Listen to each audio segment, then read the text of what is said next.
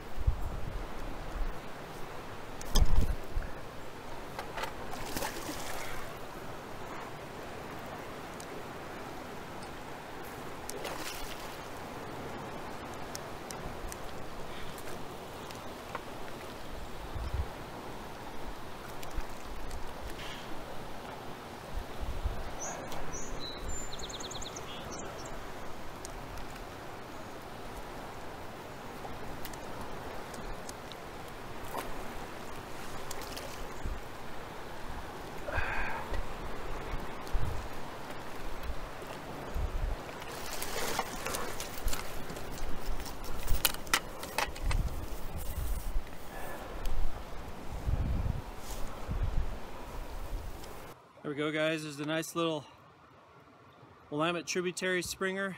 Not a big one, but it's a nice fish. These fish get a little bit colored up, but they cut beautiful. This is still a really good quality fish. Got it on a uh, bobber and shrimp cocktail. So, all right.